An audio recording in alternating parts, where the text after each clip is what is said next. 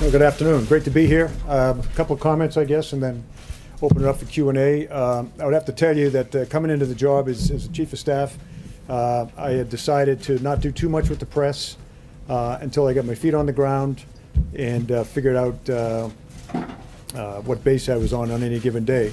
Pri- Prior to this, when I was at DHS and certainly as a Marine uh, general officer, uh, interacted with the press a great deal. Um, but coming into this job, I really needed to get to get to know the lay of the land. I have done, I think, three off the records. Uh, the first one of which was, of course, violated. Uh, but uh, thank you for all of you that didn't violate the trust uh, from that uh, from the, those off the record uh, off the record periods. I would just offer to you that although I read it all the time, pretty consistently, I I'm not quitting today.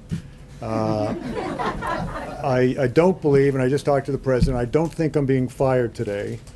Um, and uh, I am not so frustrated in this job that uh, I'm thinking of leaving. I would tell you, this is the hardest job I've ever had.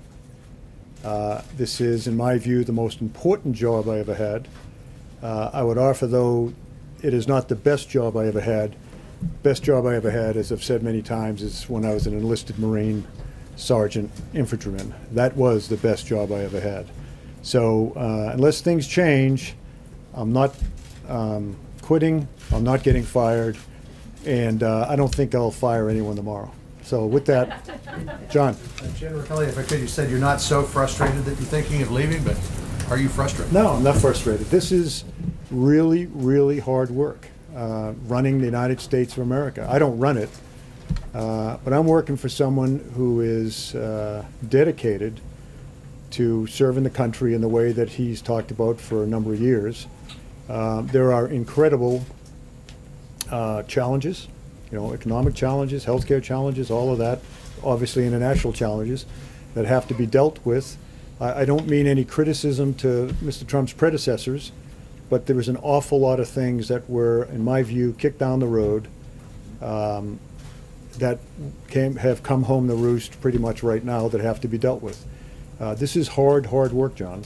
And uh, my only frustration, with all due respect to everyone in the room, is when I come to work in the morning and read about things I allegedly said or things that Mr. Trump allegedly said or uh, people who were going to be fired or whatever or think, and it's just not true.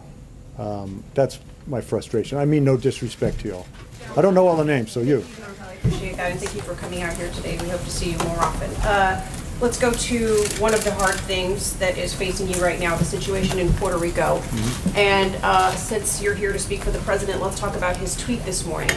Does President Trump believe that the people of Puerto Rico are American citizens? Yes. Who deserve the same access to federal aid as the people who live in Texas and Florida? Yes.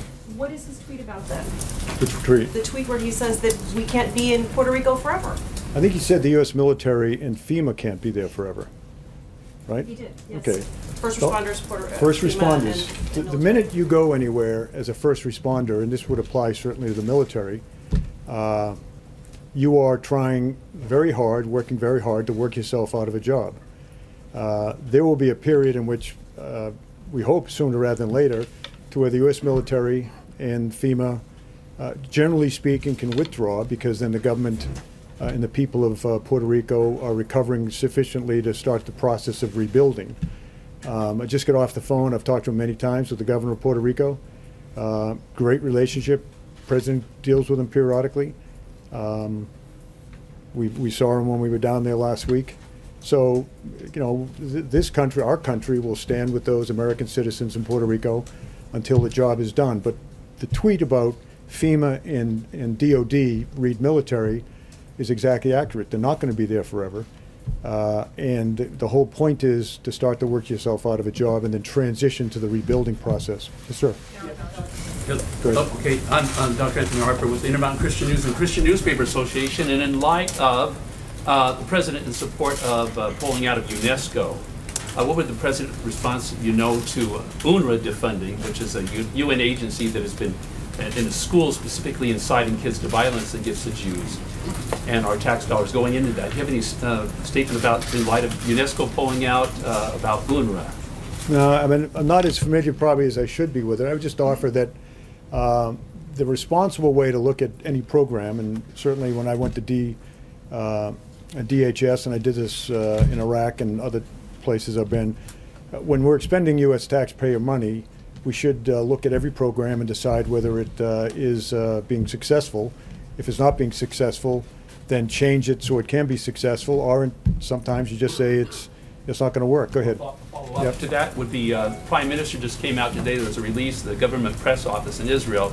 Prime Minister welcomed uh, the withdrawal from UNESCO. Mm-hmm. And I had met with the Prime Minister of Israel in May uh, about the UNRWA issue. He's very concerned. He made a statement in Jerusalem Post uh, not too long ago in denouncing UNRWA. So I thought it would be No, I'd have to get, I'd have to get more familiar, sorry. General General Kelly. General Kelly, Margaret Brennan. Yep. Yes, thank you very much for coming out and doing this. Um, You focused a lot on uh, process uh, and establishing processes here at the White House. I'm wondering if you can explain. Is this to- the iron hand that I brought to the staff? No, but did you? I- I No. Is that how you see it? You don't see that you have an iron Just- hand? Just put some organization to it. Well, can you Put a explain? smile on my face. Although you guys with the cameras always catch me when I'm thinking hard, and it looks like I'm frustrated and mad.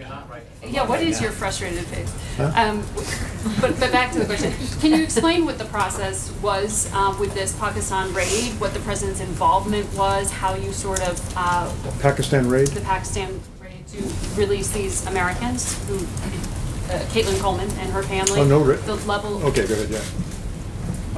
The, the level of the president's involvement and awareness and. No, I um, think we have, what, roughly 20, in fact, uh, uh, about, uh, with four of them, the three children, of course, being U.S. citizens and and the mother, uh, we've now reduced, and I'm not making a joke here, but we've now reduced the number of hostages by almost a third. But that's not to take away from all of unfortunate people that are still being held hostage. Uh, You know, our, I'll I'll use the term partners in Pakistan, uh, we've been watching for the family. Uh, they, what can I say? I'm not making up a lie here. I'm just staying within the classification. Uh, the pa- let me just say the Pakistanis, they're great partners in this regard that they are, and and I don't think. I think there's been a change. Uh, hopefully, there'll be a change in the cooperative relationship between the United States and, and Pakistan. But uh, the good news is the, the Pakistani um, officials uh, got custody of the uh, of the American citizens, four American citizens, three children, one adult uh, female, and then of course the husband uh, was is a Canadian citizen. Um, took them into custody, held them for us, not for us, held them. We had arrangements uh, to transport them back to the United States or to Canada, any way they wanted to go. Medical treatment along the way. A lot of this, of course, would be psychological treatment. They've been essentially living in a hole for five years. I mean, that's the kind of people we're dealing with over there. Luckily, uh, and thank God that the, uh, the Pakistani officials have uh, uh, took them into custody, so to speak, uh, from the uh, forces of evil in that part of the world, and, and they're being cared for now as we speak. Can you speak though Thank about you, the General. As president's a, role as a, that? as a flag rag officer, a gentleman with knowledge of world affairs, certainly you know the quote from Prime Minister Macmillan, events, events, events. Yeah. What are the events that keep you, let's say, concerned, awake at night, in terms of global affairs? Well, you know, I mean, they're the big ones, actually. We get, we get a nuclear threat uh, from North Korea, a uh, possible nuclear threat in time uh, by the Iranians. Um, You know, probably the biggest threat, uh, the biggest concern, and it's not an immediate concern, if this continues in North Korea, if, if eventually other countries, I'll let it go at that, uh, uh, become nuclear powers, obviously, we already have some out there. Um, There's a real, there'll be a real impetus for a lot of countries to develop or buy nuclear weapons. Uh, You know, I would tell you this, in spite of what uh, someone reported the other day about President, uh, and I don't think he'd mind my, my sharing this, uh, what he's said to me many, many times, and to the, to, to the group oftentimes. I hear him most say about nuclear weapons that wouldn't be great if we could get rid of them all uh, as opposed to we need 10 times more. So I, even more than the, when, when he references the uh, maintenance of, uh, of nuclear weapons modernization. That doesn't mean increase in numbers. I hear him, say more, talk more about, is, wouldn't it be great? How could we get rid of nuclear weapons? Um, so, uh, not a lot keeps him up at night. I mean, the good news is out there, we have a great State Department uh, doing the diplomacy thing night and day. As Jim Mattis and I have many, many times said when we were in uniform, if we don't fund the State Department properly, buy us more bullets. Uh, So out there in the world, you got the State Department doing what it does every day, and all the rest of the great Americans that are, that are working those kind of issues. And you got the U.S. military, the greatest military on the planet. Uh, We don't like to think in terms of things turning military, but that's always an option. The great thing about our military is it's a real deterrent uh, factor around the world, whether it's nuclear deterrent or conventional deterrent. All right, you. Um, just to get back to uh, a thing that happened a couple of days ago. The president tweeted, uh, the problem with agreeing to a policy on immigration is that the Democrats don't want secure borders. They don't care about safety for USA. Do you think that's a fair characterization? Uh, How I would put it is that there's a, a, a, um, an element within, within, first of all, let me step back and say, I believe that uh, honest men and women can disagree on anything uh, politically or otherwise. Um, The one thing I draw a little bit of a line to is on the security of the nation. There are certainly people in our country that have the opinion that, um, that open borders or near open borders are fine. Uh, People should be able to come and go. There are others, myself included, uh, you can bet the president. Uh, But I think the majority of Americans feel as though security on the borders is important. Now, how you achieve that is a different story. I believe uh, and have, I have great relationships with the, uh, with the Mexicans. We have great relationships with the Mexicans on the border. They're in the counter-drug fight with the United States. In fact, in my view, suffer more from the drug, uh, uh, our drug demand, which we don't seem to address. We're trying to now with, under the Trump administration.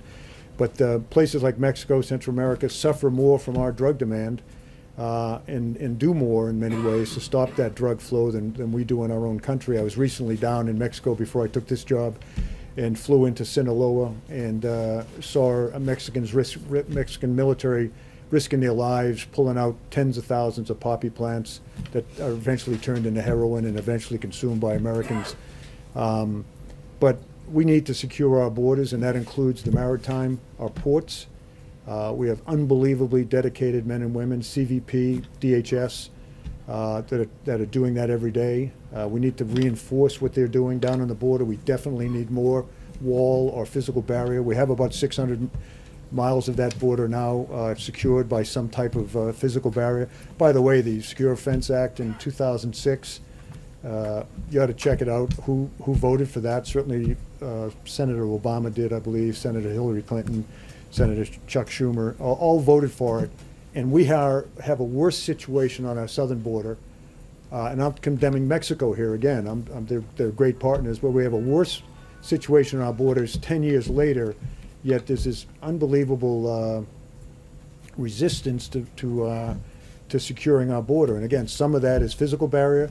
A lot of, all of that for sure is people, technology, things like that. So we have to secure our borders. And this includes, as I say, our ports, New York, Boston, Houston. Uh, don't have nearly the issues on the, on the northern border with Canada. Uh, Great partnerships there. But the problem with our southern border is the drug flow and the illegal immigration flow rides on a network that right now uh, comes up through, uh, into the Western Hemisphere from abroad, up through uh, Mexico, Central America, Central America, Mexico, and into the United States. Got to do something about it. Yes, sir. You, you- you talk about frustrations. Um, Peel back the curtain for us, since you're in a first row vantage point with the president. What are his frustrations right now? And secondly, a big decision that's going to be upcoming is the Fed chair uh, position, possibly here in the next few weeks or upcoming months. Um, Where does that stand? How active of a, of a, uh, how actively is the administration engaging that at this moment? Uh, One of his frustrations is you, uh, all of you, um, not all of you, but m- many of you. As I say, when I started, when I first started talking, again, I- I'm a, I'm a reasonable guy, but when I read in the morning, I read the, uh, well, I won't tell you what I read, but, and watch TV in the morning, it's just, it is astounding to me how much is misrepre- misreported. I will, I will give you the benefit of the doubt that you are operating off of contacts, leaks, whatever you call them. Um, But I, I would just offer to you the advice, I'd say, uh, you know, maybe develop some better sources. Um, Some person that works way down inside an office or, or, uh, well, just develop some better sources. The, the uh, Congress has been frustrating uh, to him. Uh, Of course, um, um, our, our government is designed to be slow, and, um, and it is. Um, his sense, I think, as a, as a man who is outside of the Washington uh, arena, uh, a businessman, uh, much more of a man of action. Uh, his great, I would say, his great frustration is the process that he now finds himself, because in his view, uh, the solutions are obvious. You know, whether it's tax cuts and tax reform, uh, healthcare, uh, infrastructure programs, uh, strengthening our military. To him, these all seem like obvious things that need to be done to protect the American people, bring jobs back. These are all the things that he sees as vital to protect the American people, uh, to advance American uh, uh, economy and whatnot.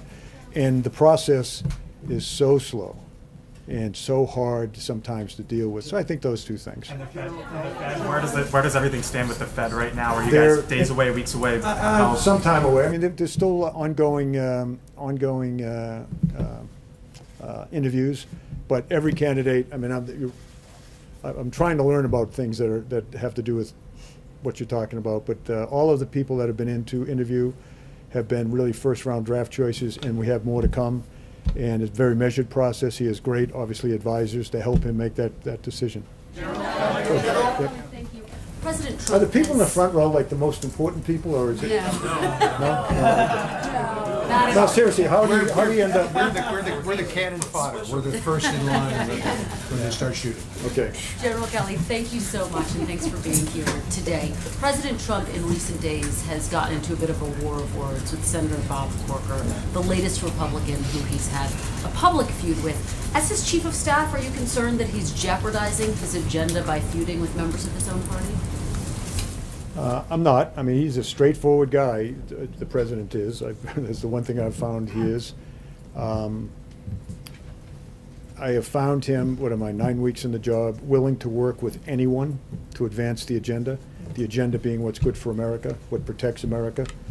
Uh, You've seen him reach out to these people on the other side of the aisle. Um, I think, uh, not to get into, well, let me just say that when members of Congress say things that are uh, unfair or critical, uh, the president has a right to defend himself. Uh, When I, when I read about things that are uh, what I would perceive to be unfair, critical, uh, unnecessarily critical, I will call members of Congress and uh, just ask, you know, is there anything I can do to help you with that misconception you have, or maybe explain to you why I did this or that? Uh, Oftentimes, members of Congress that I talk to will say, geez, I didn't realize it came out that way, I'm sorry, or, no, I I meant it. Uh, But it was kind of a grown-up uh, comment, and, and so I'll take that to the president and say, but then there's others that uh, are, uh, as the president would say, grandstanding. I- I'm not saying uh, Senator Corker's that way, I'm just saying that some people grandstand and, and kind of enjoy the, uh, and enjoy the attention. I, Have you of course, called I've, I've talked to But in Senator the wake Corker. of this recent I've talked to Bob fight? Corker, yeah. And do his tweets make your job more difficult, General Kelly? No, no. I mean, the job of the chief of staff is to, is to staff the president, uh, give him the best advice, or go get the best advice I can give him, help him uh, consume advice, uh, help him work through the decision-making process uh, in an informed way. Uh, But that's my job, and uh, that's what I do. General, General, One question on Cuba, if I may, Okay. sir. Uh, The question on. oh, You got it next, I'll go to you next. Um, is it me or him? Does the president believe that Cu- the Cuban government is directly responsible for these attacks on Americans? And does the president plan on closing the U.S. embassy in Cuba? And is the president aware of the visa crisis for All Cuban right, what's the families? rule? How many times, how many questions can you ask? Um, The, uh, we believe that the Cuban government uh, could stop the attacks on our uh, diplomats. Now you. We're waiting for the president to make a decision tomorrow about the Iran nuclear deal. Can you talk broadly about the strategy to counter Iran nefarious activities in the region? And will you list the Revolutionary Guard as a terrorist organization, as some member of the Congress has suggested? I think, uh, I know that uh, we have great partners in the uh, Persian Gulf region, the Arabian Gulf. Uh, Clearly, we have a a war that we're seeing every day being won uh, in Iraq against ISIS. I mean, in the last nine months, uh, I never felt it, I never thought I'd ever feel sorry for them, but they're getting crushed every day. Um, The caliphate's gone. We see them trying to escape from Iraq and get into Europe and places like that, which should cause Europeans uh, much concern. But back on your question about Iran, uh, the, uh, the partners in the region, uh, we're very close with, have great relationships with. Uh, We're out there, uh, we have footprints on the ground, naval and, and uh, air forces there, uh, to just demonstrate our resolve, our friendship, and to try- try to deter anything uh, that uh, any country out there may do. Uh, So that's the approach we're taking to Iran right now. Uh, Clearly, the president has, uh, he's, he's deep in thought, to say the least, about way ahead in Iran. And uh, once again, um, he's not the only one that thinks that maybe the deal that was struck under the previous administration is a deal that, in the long term, even in the medium and long term, will, will protect America. Go ahead. Thank you, General. I wanted to ask you uh, about the effort to repeal and replace Obamacare. As we saw just uh, a few um, moments ago, the president signed an executive order, an executive order that he says will bring more choices for Americans, will lower premiums for Americans as well. It's October the 12th. He's been in uh, office since January the 20th. Is there any particular reason why he didn't sign this executive order his first week in office? Uh, What's taken him so long? Yeah. And my other question, if I may, Uh, General, the other question is very important. Do you blame Senator McConnell, the leader of the Senate, for the failure to repeal and replace Obamacare? Yeah. On the, uh, on the first question, uh, and I came in late to all of this, but the idea was, uh, and it is a great question, all of what was in that executive order today, uh, there was, there was a sense that had the, the big bill passed, all of that would have been taken care of. So since the big bill didn't pass, um, and we probably won't have a, a healthcare um, bill until, say, the spring, this was a way to take care of as many Americans as he could legally uh, with a, uh, with an executive order. As far as the, uh, the second uh, question goes, the, uh, the Congress is an extremely complicated, it's, it's designed to be an extremely complicated, slow-moving uh, part of our government. Uh, I have nothing but respect for members of Congress and the staffs that work so hard for them. Um, uh, The, the, uh, sometimes the, it's like uh, talking to Nancy Pelosi once, uh, she's the leader, but boy, is it really hard to lead. I'd say the same thing about the uh, majority leader in the Senate. Uh, There are 100 or whatever, 100 uh, members of Congress that uh, look to their states, you know, have their own political baggage to deal with, and they're not always reliable on every vote to vote the way that the president or Mitch McConnell uh, wants to vote. So. One more, who's the lucky one? Thank you very much, sir. Uh, First of all, congratulations. As what? far as- Well, for your New job. Yeah. So as far as US-India relations are concerned, recently, many tragedies have taken place here and Indian American community and India paid a tribute on 9/11 at the Georgetown University in cooperation with the Indian Embassy and also at the Gandhi Center, uh, as far as the tragedy in uh, Las Vegas is concerned. My question is that Indian Ambassador Mr. Sarna said that time has come now. US India should stand together against all these terrorism. And same thing, Prime Minister Modi, when was, he was here at the White House, he told President Trump that India is with the US anytime, anywhere as far as fighting against terrorism. So where do we stand, sir, today as far as US-India relations are concerned?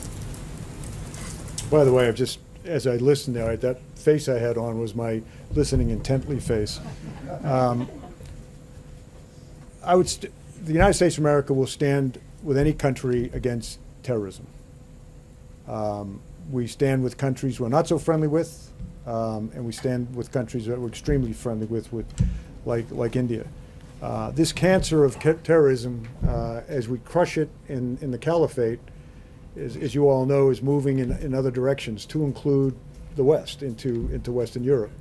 But the northern part of uh, Africa is suffering terribly, and, and it will grow there. As it, as it moves south in Africa, it's moving out uh, into South, is already in South Asia. Very, very dangerous. I went to a, a very, very good conference at uh, King Abdullah of Jordan invited me to, the uh, Aqaba initiative, where he had uh, all of the Southeast Asia uh, countries represented, particularly the, the big Muslim countries, uh, to include the Philippines. They have many, many Muslims, as you all know, in the southern part of the country. Um, and the discussion was, you know, what do we do as this, you know, ISIS form of terrorism, uh, cancerous metastasizes in those parts of the world? And their countries, the countries are very, very uh, afraid of that because they haven't, they've had to deal with it locally, um, but not, if you will, uh, you know, a threat that uh, that will uh, go into places that typically you don't normally see Islamic terrorism uh, thrive. So again, I would say that the United States uh, will work with any country, does work with every country that is trying to get its arms around uh, terrorism of, of all kinds. Um, and there are different types. It's not all religious based, the various types of terrorism, but uh, that, that would be my answer. But I think that. Thanks a lot. Sir, is President Trump going to visit India? Ask me, President Trump going to? ask me, who's, got- someone asked me, and, yeah. Thank you, General Kelly. I have a question about the tweets. That's a big part of this administration. Uh, do they get you by surprise, and are they official statements? And on the war against North Korea, uh, what are the chances? Uh, should the American people be worried about the war? That's two questions. Which Yes. one, which one should I answer? Both. Uh, The Amer- the American people should be concerned about a, um, a state that has developed a pretty good ICBM capability and is developing a pretty good nuclear reentry vehicle. Um, I would believe, I think I speak for the, the administration, that that state simply cannot have the ability to reach the homeland, and for that matter, uh, well, the homeland. Right now, there's great concern about a, a lot of Americans that live in Guam. Um, right now, we think the threat is manageable, but over time, um, it, uh, if it grows beyond where it is today, uh, well, let's, let's hope dip- diplomacy works. As far as the tweets go, you know, it's funny, I, I, I read in the paper, you- well, you, you all know, you write it, that, uh, you know, I was, I, I've been uh, a failure at controlling the president, or a failure at controlling his tweeting and all that. I, again, I was not sent in, or I was not brought to this job to control anything but the flow of information to our president so that he can make the best decisions. Uh, I have found that uh, Mr. Trump, from the day I met him, does not lot, he's a decisive guy. Uh, he's a very thoughtful man, I should say.